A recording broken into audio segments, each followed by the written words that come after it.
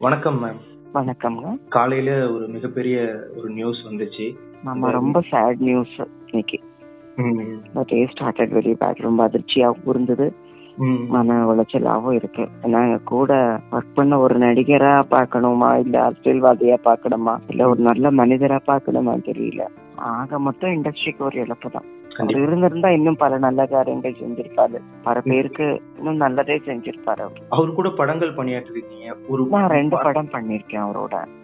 மணிவண்ணன் சாரோட இருபத்தி நாலு மணி ஏதோ அது ஒரு டிசம்பர் தேர்ட்டி ஃபர்ஸ்ட் ஒரு படம் பண்ணேன்.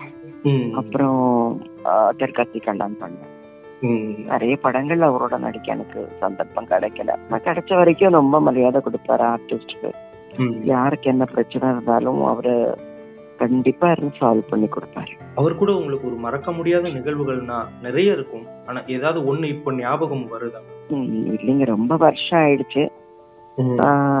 அவர் சும்மா செழிப்பாக சொல்லுவாரு என்ன கலாட்டா பண்ணுவாரு எப்பவுமே செட்டுக்கு வந்த உடனே நான் குட் மார்னிங் சொல்லுவேன். சொன்ன உடனே என்ன குட் மார்னிங் சொல்ற? காலை வணக்கம் சொல்லணும் நான் வேணும்னே டெய்லி குட் மார்னிங் தான் சொல்லுவேன். வேணும்னு இங்கிலீஷ்ல பேசுவேன் குட் மார்னிங் சொல்லுவேன்.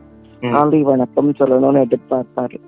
ம், அது நல்லா இருந்தது no problem I was very comfortable working with him. கண்டிப்பா இப்போ கஷ்டமா இருக்கு. அவரு குடும்பத்தினருக்கு பயங்கர இழப்பு தான் கண்டிப்பா. ஆனா நல்லவங்க தான் கடவுள் சீக்கிரம் கூட்டிட்டு போயிடுவாங்கன்னு சொல்லுவாங்க. ம், ஒரு நல்ல மனிதர் நல்ல ஆத்மா.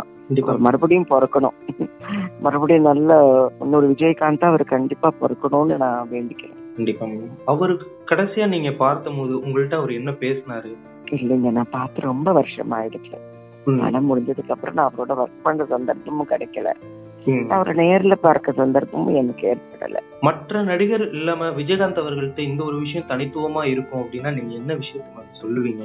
வெரி ஹெல்ப்ஃபுல்லுங்க ஒரு பிரச்சனைனா மத்தவங்க கண்டு கூட மாட்டாங்க. இவர் அது முதல்ல நின்னு நமக்காக ஒரு போராடுவார். கண்டிப்பா மேம். இந்த சமயத்துல அவர் இழந்து வாடுற எல்லாருக்குமே நம்மளோட ஆழ்ந்த இரங்கல்களை ஆமா. தெரிவிக்கிறோம் அவரு குடும்பத்துக்கு என்ன ஆர்ந்த இருங்க என்ன பண்ண முடியும்? அவர் எழுந்தாலும் திரும்பி வந்துருவாரு நம்பிக்கை இருக்கு கண்டிப்பா மேம் தேங்க்யூ மேம்